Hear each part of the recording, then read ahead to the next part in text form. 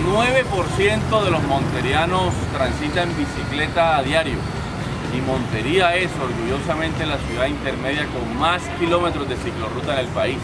30 kilómetros de ciclorruta como esta hacen parte de nuestra conexión verde.